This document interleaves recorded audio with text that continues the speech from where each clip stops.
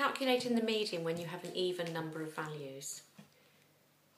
Here are our spelling test scores again, but this time I've added an extra child on the end who scored 4, so we have 10 children in this set of data. When I put the data in order, the 4 goes on the beginning, we've got 10 values. To find the median, again, start jumping from either end until you get to the middle. So jump, jump, jump, but in the middle we have two values, 7 and 9. To find the median, you need to find the midway point between the 7 and 9, which is 8.